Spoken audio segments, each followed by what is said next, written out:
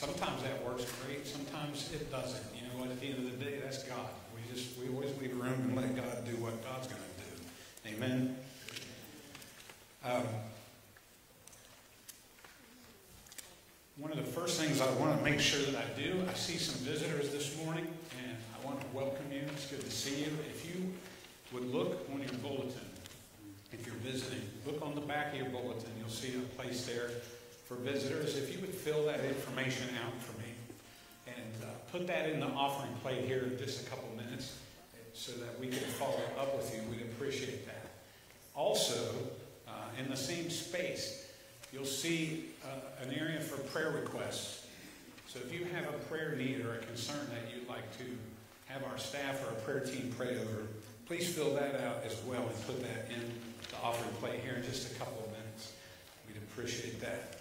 Um, I take this opportunity to remind all of you, you can find the bulletin on the Bible app and, and, and look at it there. You can also go to our web page and post your prayer concerns on the prayer wall on the web page. And all of that information is in the bulletin as well. Taking a quick look at uh, a couple of announcements that we have in the bulletin. Uh, I always encourage you to read over those. I'm not going to go through them in detail, but look through your bulletin.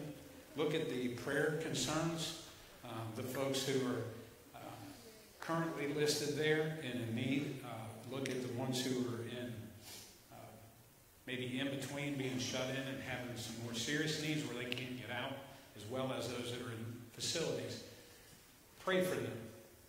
But I encourage you each week, don't just pray for them. Um, if you're compelled, please reach out and contact them. Send them a card, give them a phone call. If you can, go visit them. I know how much they would appreciate that. Um, take a look then at the birthdays and celebration, and maybe most importantly on the back, uh, you'll see the calendar for meetings this week. I think that's very important. I want to uh, introduce this morning, I'm going to put Austin and Angie on the spot and have them come up front for just a second. Um, I asked Austin to speak, uh, Angie, but he said you would do that. Was that okay? No, it's not okay. I'm not going to do anything. I'll just meet you here. But I want to introduce to you Austin and Angie Young. Austin is our new uh, pastor of student ministries, and his wife Angie Gavin, who I know that you're most concerned and interested in meeting, is in the nursery. So if I see any of you sneak out, I'll know where you're going. but uh, we just want to welcome you guys to our church. We're so excited to have. Austin was working this week. It was great to have him here and get started. And uh, he's a go-getter. He's already pushing me, so that's fantastic. All right. Thanks. All right, guys. Have a seat. Great to have you here.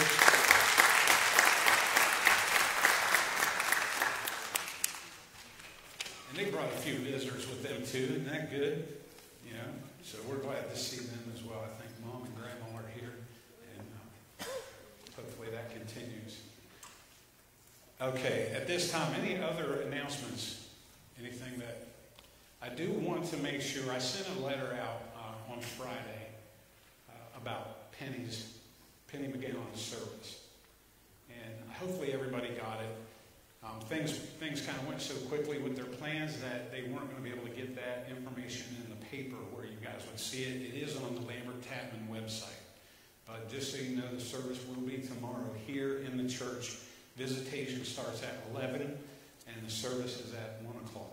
Okay, so I just want to make sure that you knew that. Let's pray. Dear Heavenly Father, we thank you for this day. We thank you for each and every opportunity, Lord, that we have to be together as a body of Christ, as a church family, Lord, in fellowship and in communion, and in particular to worship you and to praise you. So we pray right now that uh, this time would be used for your purpose and for your glory as you work on us. Lord, open our hearts, open our minds to you. Lord, we love you and we praise you. In Jesus' name, amen. I ask the choir to do congregational singing. If you guys will all stand.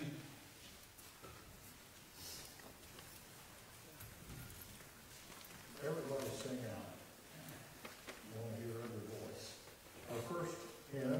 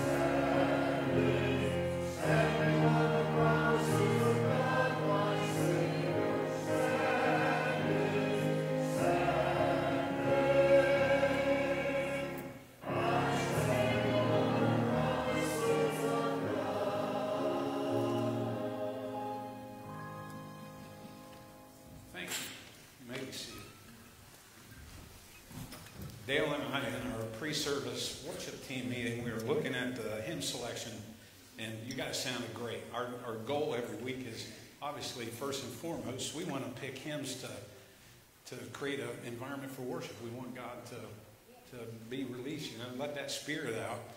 Um, but we also try to select songs that we think you everybody knows in order to facilitate that. And we were looking at the list, and today we added quite a bit of activity. We're following, we're leaning, we're standing, and we're turning. So everybody should be, you know, really loose and limber by the end of the service today, which is fantastic.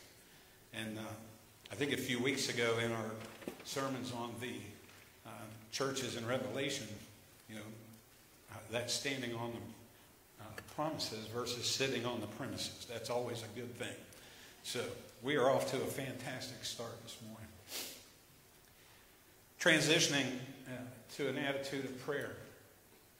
Um, I, I, I, say every week, you know, there are so many needs. We've had a very um, busy and full week of various needs. And uh, those are just the ones we know about, right? And, and, all of the other needs or concerns that, that you are dealing with, that you are praying Um, I, I, just want to take a moment and thank our deaconesses and, and, our deacons, our deacons who pray for these needs, and our deaconesses who serve. Um, I love my church family, and, and pride goes before destruction, but I'm proud of the service that you guys provide to our church family when they're in need. And I want to say thank you. It's been a busy week. It will be another busy week. So thank you in advance. I want to share with you a quote from E. Stanley Jones. If you can follow along, he says, Prayer. Prayer is surrender. We've talked about that, that we need to submit, we need to humble ourselves before God. Prayer is surrender surrender to the will of God and cooperation with that will, with God's will. He's saying in his quote, if I throw out a boat hook, so if I throw a boat hook from the boat and I catch hold of the shore and I pull, do I pull the shore to me or do I pull myself to the shore? You see, prayer is not about pulling God to my will, but aligning my will with the will of God. That, that's prayer. That's prayer. To oversimplify, but it's that simple. In the midst of everything else that, that we, we need to pray for intercession, in intercession, we need to pray first and foremost for God's will and then be thankful. We need to humble ourselves you know, sometimes the challenges that we're facing are so difficult that we don't even really know for sure what to ask or how to ask. And as I go through these weeks, and sometimes week after week, I'm learning that these moments are, are when we most clearly understand that we should always and most simply just be praying for His will. Sometimes we just need to be still and know that He is God. Now, he does tell us to ask, you know, that we need to ask and that we haven't received because we haven't asked, but we need to seek His will first and give thanks. 1 Thessalonians chapter 5, verses 16 and 18. I'll end prayer with this, this, this call to rejoice always. Think about all the concerns that were on your mind and heart as I was talking through the various needs. What was on your mind? What was on your heart? It probably wasn't rejoicing. But here the Bible's telling us rejoice always, to pray without ceasing, and in everything give thanks. Why? This is the will of God in Christ Jesus for you. Let's pray. Dear Heavenly Father, this morning we ask you to help us be still, to help us know that you are God, to help us just listen. Lord, we ask that your Spirit would speak words of wisdom, words of guidance over us today and every day, Lord, as we seek you. You promised a comforter, Lord, who would be with us every step of the way to guide us, to give us what we need. So, Lord, be with us. You are our, our light, Lord. where the lamp stands. We need to shine in the darkness. When we don't know which way to turn, we know we can run to your light. Lord, shine that light. Use us to shine it in dark places. Guide our feet, Lord, in the path of peace and comfort. When we're facing fear, when we're facing discouragement, Lord, be that sunrise. Bring us the security, the knowledge, and the peace and comfort that keeps us in your perfect will. Lord, we love you and we praise you. In Jesus' name, amen. Now I'll ask our ushers to come forward and receive this morning's offering.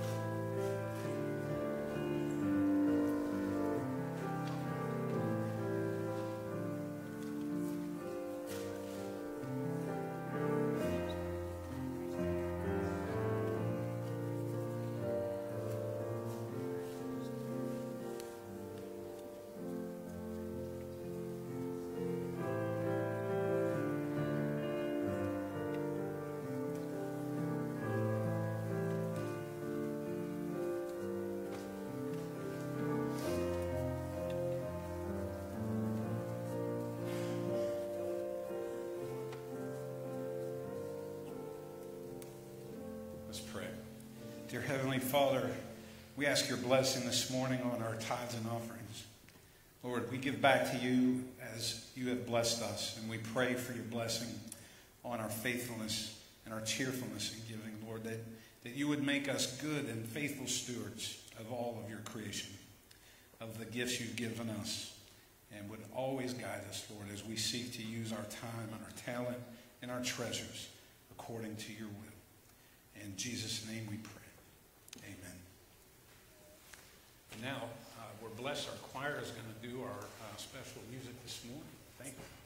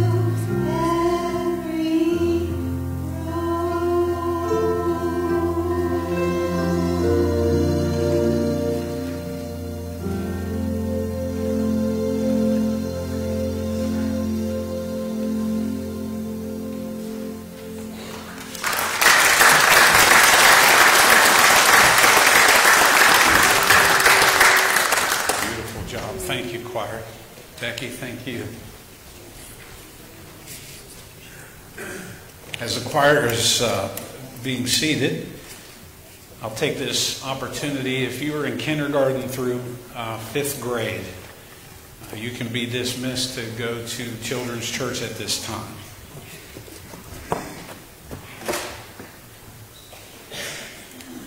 And also, I hesitate to sorry, to bring it up. It's such a beautiful song, and it is perfectly, perfectly, perfectly uh, in line with uh, the message this morning. But I was told uh, just a moment ago that, sorry, that there is a, a luncheon after church. I have an older version of the bulletin, so somebody corrected me. I was supposed to make an announcement that you are all invited to a pastor appreciation luncheon right after church. So I feel kind of self-serving even mentioning it, but um, I, am delighted to hear that. I wasn't aware of that until a few moments ago. So uh, the deacons and deaconesses are preparing that right now, and immediately following the service, um, I invite you to join us for that. So I apologize that I overlooked that. But in terms this morning of counting the cost, and, and yet, as the choir just performed for us, the answer is simply what is the cost of following Jesus? The answer is everything. Everything. So if you guys want to head to lunch, we can leave now. no, that wouldn't be any fun at all. Um, you know, I want to try to frame it this way. We talk a lot about fellowship, as we should. It's very important. But I want to talk about, I want to take that word and change it today. Instead of fellowship, I want to talk about followship. Okay? Followship. I want to talk about, we've, we've been on this journey through the churches of Revelation and what we can learn and what we can take from that personally, what we can take from that as a church family. Um, but it's all about getting to work. It's all about getting back to being and acting and doing the good works that Christ intended us to do. You know, last week we talked about grabbing the shovel again and, and getting to work. What's it mean to follow Christ? What's it mean to say yes and to grab your shovel? What does it cost? And why should we count the cost? That's what we're going to talk about today. There was a, document, uh, a documentary uh, from an early 20th century expedition to the South Pole. Um, the documentary, the quote comes from Ernest Shackleton, that's who made the expedition. Before he made the journey, he put a newspaper ad in the London newspaper and it read this. It read this way. Men wanted for hazardous journey, small wages, bitter cold, long months of complete darkness, constant danger, safe return doubtful.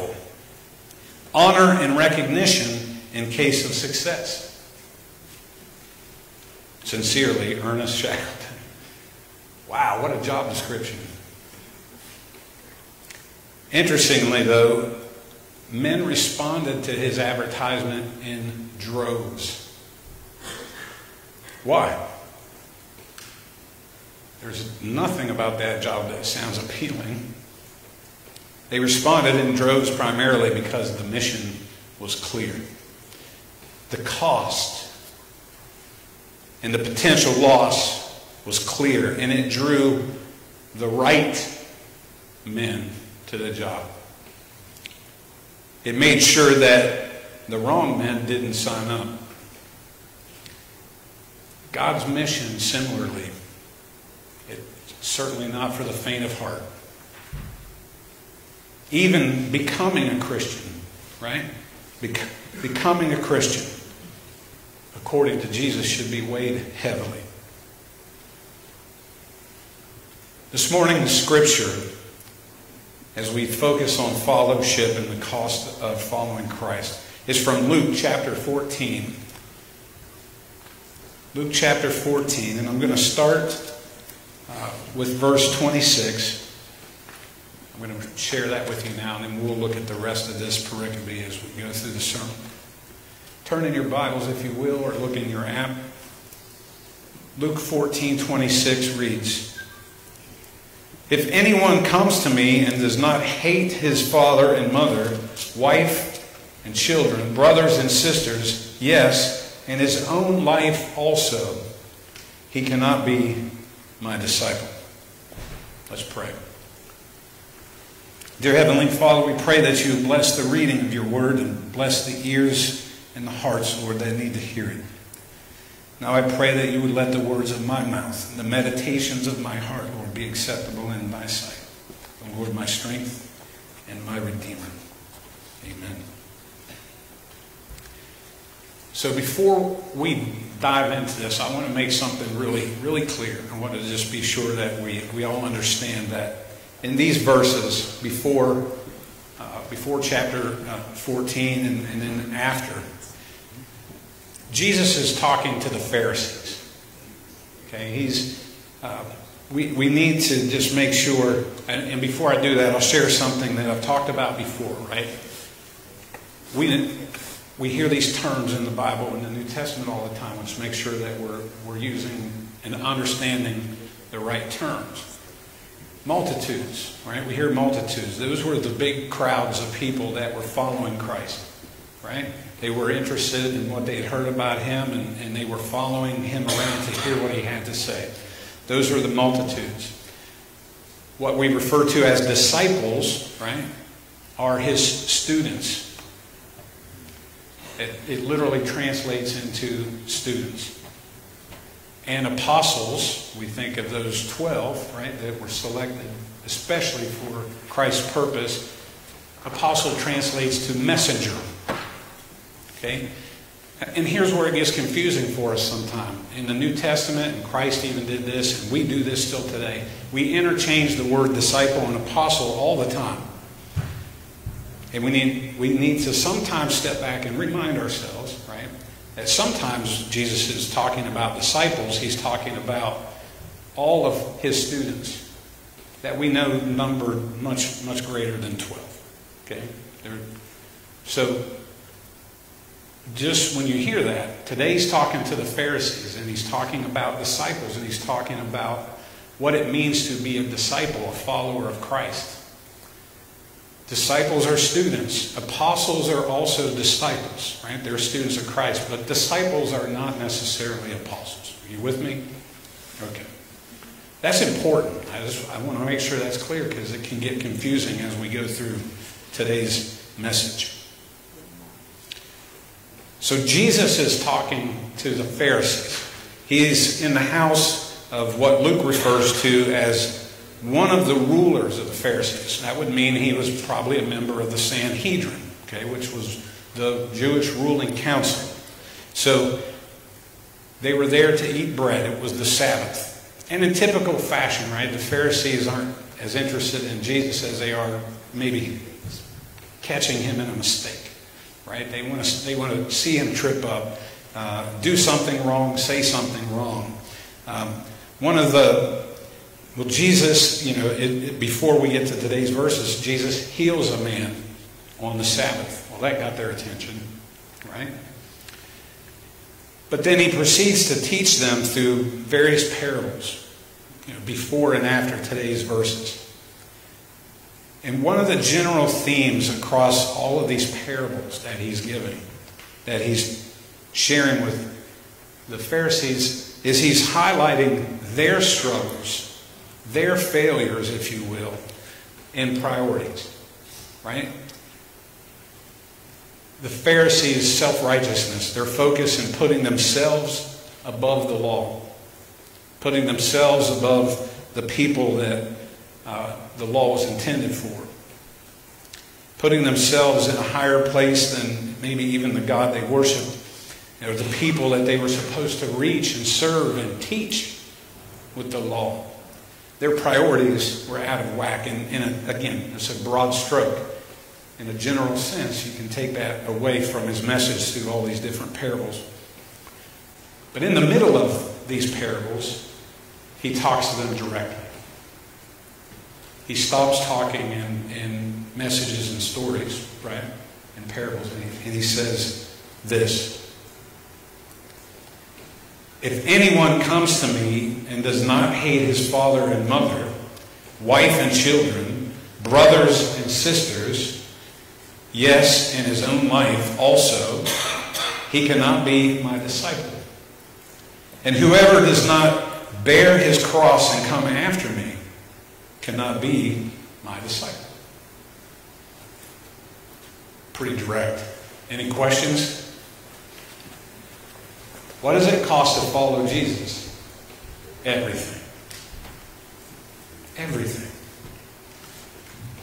It's worth noting in my, in my study Bible a couple of comments I want to share with you. In that first sentence, Jesus says, If anyone comes to me and does not hate his father or mother, it seems like an odd word. Something important to understand in ancient uh, Near Eastern, uh, their concept of hate is different than how we use the word hate today. Okay? It's very important in context to understand that.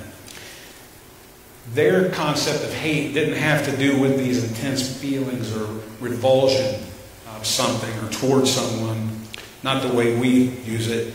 To hate something in their culture meant to place it in a lower position, to give it the lowest priority. Um, it was beneath everything else. Okay? So we're talking about prioritization, not that loathing sense that we use in it. Jesus, therefore, was not telling his followers to loathe their families, but rather to ensure that God was the highest priority in their lives.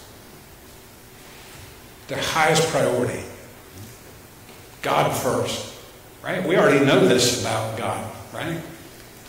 We if we go to Exodus and we look at the commandments that God gave, gave us, you shall have no other gods before me. Right? He goes on, he says, You shall not make yourself a carved image, any likeness of anything that is in heaven above, or that is in the earth beneath, or that is in the water under the earth. You shall not bow down to them nor serve them. For I, the Lord your God, am a jealous God. So he made it clear then, and Christ is making it clear at this time that he is to be our number one priority. It's about priorities. Nothing should be more important than your relationship, than your discipleship, than your work for Jesus, for Jesus, and for his glory. Nothing should be more important. And I'd go a step further, even in the sense that we think about priorities clearly as number one, number two, number three. I would challenge and say, let's go a step further than that. It's not just about him being the top priority, it's about him being the reason and the focus and the purpose of every priority. That's how you put him first.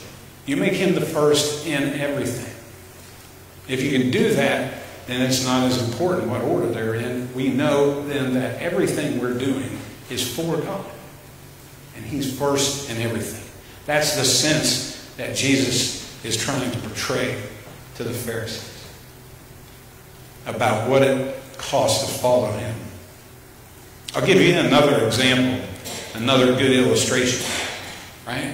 When it costs everything to follow Christ to become one with Christ in spirit. Think about the model for a second that God gives us for marriage. It's perfect. It's intentional. It's God's design. Picture this in Genesis 24, or sorry, 2 verse 24. It says, Therefore a man shall leave his father and mother and be joined to his wife, and they shall become one flesh. And in Matthew 19, verses 5 and 6, Jesus says this And he answered and said to them, Have you not read that he who made them at the beginning made them male and female, and said, For this reason a man shall leave his father and mother and be joined to his wife, and the two shall become one flesh. So then they are no longer two, but one flesh. The church is often referred to as the bride of Christ, right? We see that imagery over and over and over in the New Testament. And in the exact same way as in God's perfect definition of marriage, we, his church, must also leave everything, leave everyone else, and join together with Christ in becoming one with Him. So, what does it cost to follow Jesus? Everything. Second part of this is what does it mean to count the cost? Now we understand the cost. Why would we count the cost? Counting the cost means that we need to take the time to intentionally and purposefully understand what is required before we make a decision. And we need to make plans. Why? Why? So that we can do the work. So that we can do what's required of us. And more importantly, so we can finish what is required of us. Jesus explains it this way in the following verses.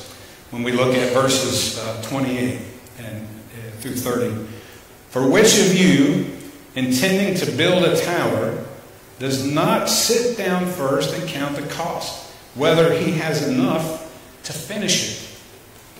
Lest after he has laid the foundation and is not able to finish, all who see it begin to mock him, saying, this man began to build and was not able to finish.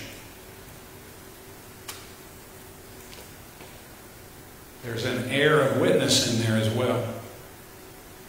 We need to understand the cost. We need to understand what's required so we can do the work and we can finish it. We need to also understand that doing and finishing glorifies God. And our inability to understand and plan and account for that cost and do the work and finish the work is a witness. Hopefully for His glory. But if we don't, it's still a witness. He goes on in verse 31 with a, with a different example of the same point. He says, Or what king going to make war against another king does not sit down first and consider whether he is able with 10,000 to meet him who comes against him with 20,000. Or else, while the other is still a great way off, he sends a delegation and asks conditions of peace. So likewise, whoever of you does not forsake all that he has cannot be my disciple. Again, let's go back and remember family took the highest priority in their culture. It was more important than anything else. So the idea that God should be the center of one's life, that was kind of radical. It required a serious consideration, accounting of the cost, up front, in advance, understand, and count the cost. And I read it already. I'll read it again in the last verse of this uh, section. He says, So likewise, whoever of you does not forsake all that he has, he cannot be my disciple. The word here, which is translated as forsake, means to give up, to renounce, to abandon your right of ownership. It, it doesn't imply selling everything that you own and selling all of your positions or possessions, giving everything away. Instead, what it means is to become a good and faithful steward. Good and faithful steward, one who uses everything, everything that he has, all of his resources, for the service, right? And for the glory of Jesus Christ. Counting the cost then means understanding what is required and planning accordingly. To be a disciple of Christ, right? Weigh it out, consider it, understand it, so that you can do what is required and you can finish His work. This tied, in my mind, as I was studying and preparing, it tied so perfectly uh, with what we discussed last week when we were talking about grabbing our shovels. Again, throw that out. To quit digging in and, and start digging out. To get to work in faith and do the good works that Jesus wants you to do for Him and for His glory. In last week's message, I shared quickly with you the title of a book called Out of the Salt Shaker and Into the World. It's about evangelism. You have to start. You have to follow Christ before you can be one. You have to be one before you can be one. Right? We've got to get started. Out of the salt shaker into the world. To illustrate this point that we're talking about, that we're supposed to be the salt of the earth. If we're, if we're going to be the salt of the earth, we have to get out of the salt shaker. It's that simple. We have to get to work in the world. So, as we're looking this morning and studying the cost of following Christ, Jesus himself tells us the cost is everything. Jesus tells us the reason for counting the cost is to be his disciples, to become, to be sanctified, to do. And then at the end of the chapter in Luke, right after this section, the very next thing he says to the Pharisees is this. Verse 34 Salt is good. But if the salt has lost its flavor, how shall it be seasoned? You can't season salt. Salt is the seasoning. It is neither fit for the land nor for the dunghill, but men throw it out. And here's this phrase again He who has ears to hear, let him hear. Disciples, right? Students. We're not talking about the apostles. He's talking about students, followers of Jesus Christ. Disciples who don't exhibit the traits of their teacher. Disciples who don't exhibit the traits of Jesus aren't really disciples.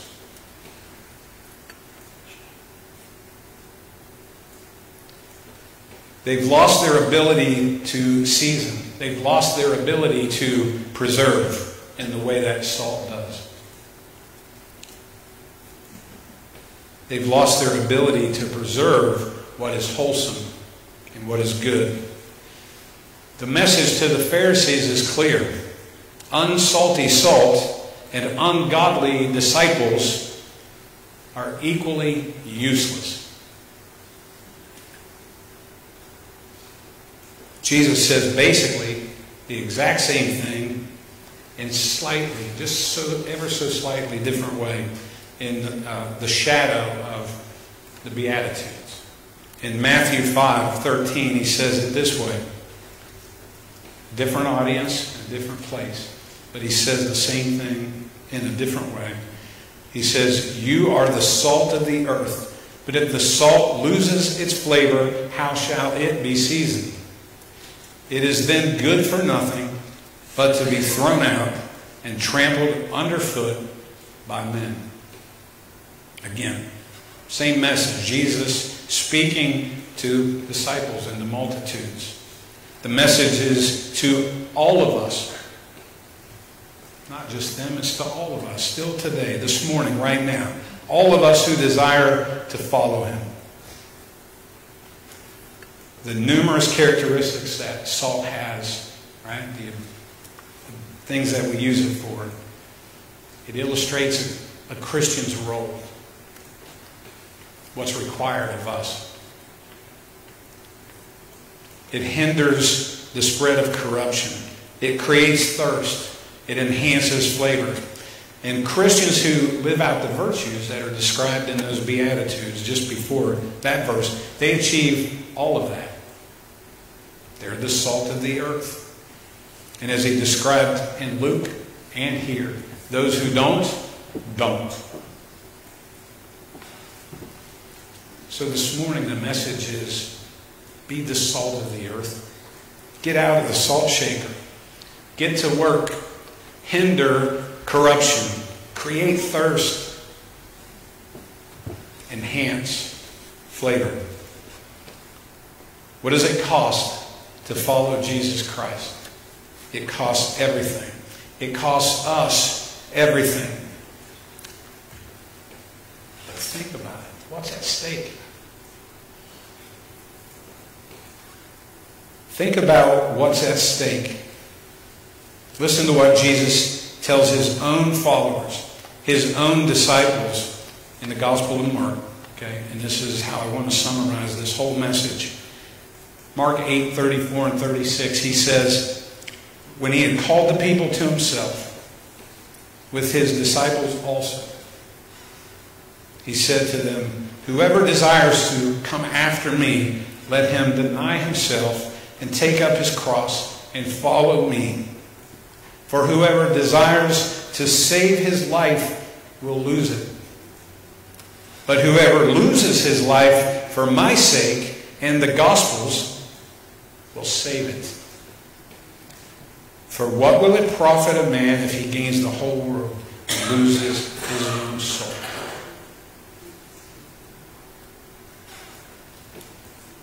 When we count the cost when we consider the cost, it's not just about giving up the things that we tend to put above Him. It's not just about eliminating the one thing out of our life that we tend to make a higher priority. It's also about giving up the things that we need to give Him, that He begs us to give Him. Think about those things that, that we need to let go of fear, worry, anxiety, sin and the shame of our sin. It's about letting go of all of that. This morning, what are you putting ahead of Him? What are you making a higher priority than Him? What are you holding on to? What are you holding on to this morning that you need to let go of? Give it to Him. Whatever it is, give it to Him. Friday, on my way into the office, I, I turned my radio, XM radio, to Message, which is the Christian channel. And you might all be shocked to know that is very rare for me to do. I love music. I love Christian music. But when I'm by myself in my car, that's not my preferred choice. But in that moment, I hit the button. And what are the odds that you know you catch a song right as it's beginning? And I think it's a new song from Mercy Me called "Then Christ Came." I just want to read the tag and the, the chorus of this song. This is what I heard in this moment. I never thought that I would ever see the day when every single chain would break or hear the voice of heaven call my name. Then Christ came, changing everything.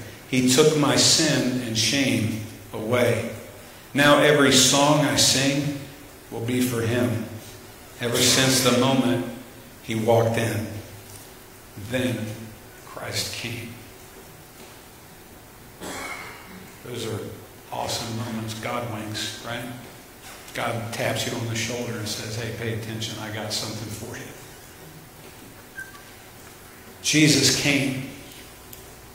He died for you. He died for me. He died for all of us. He gave everything for us. Put Him first in your life. Give yourself to Him. Give Him everything in return. A personal relationship with Jesus is the key. It's the key to true joy and happiness. A relationship with Jesus Christ that permeates every other thing you do and becomes the reason why you do it. That's the key to true joy and happiness. So, God, this morning, help us get our priorities in line. If we haven't already done so, help us count the cost and make a decision to be a follower of Jesus Christ. Only then you know, can we have that hope and peace of eternal life with Him. Count the cost. Let's pray.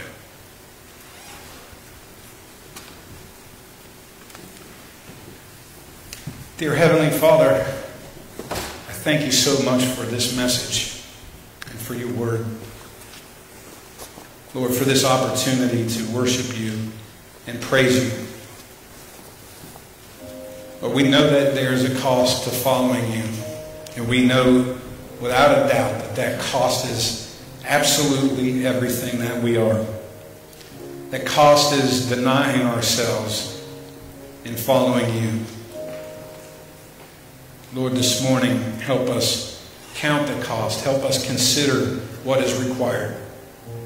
Empower us, compel us, encourage us to be bold and courageous in following and doing good works, Lord, for you and for your glory. Lord, this morning we choose to put you first. We choose to make you the highest priority, the center, and the reason we do what we do. Lord, we acknowledge that without you we can do nothing. Lord, with, without you we are nothing. Lord, have your way in our lives as we seek you first in all that we do right now, Lord, in this moment and in this season. Help us to focus only on you, Lord, and your constant and your loving presence in our lives.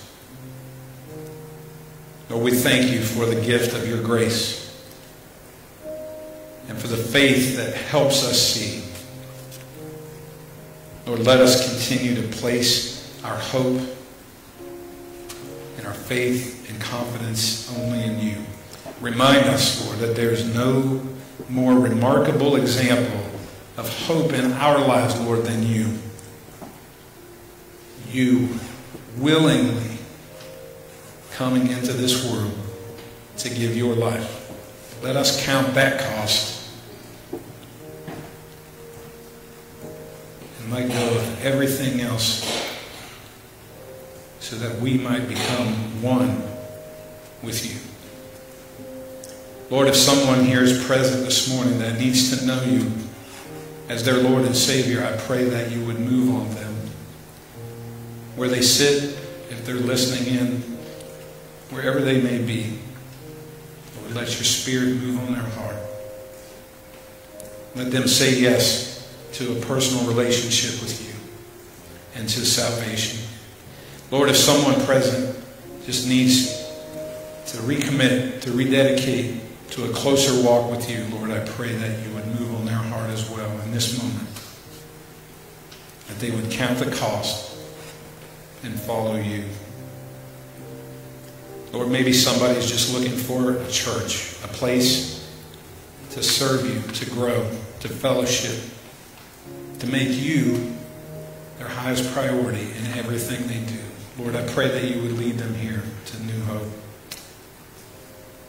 that they would find you here. Lord, in any situation where you may have moved this morning, where it's your will, I pray that in their first act of obedience, Lord, they would share that decision with us. as a witness to what you've just done for them and what you will be doing in their lives. Lord, we praise you this morning and we thank you.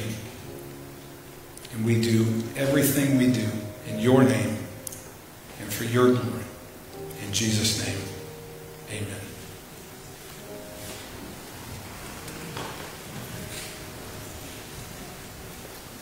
Please stand for our hymn of dedication. Turn your eyes upon Jesus.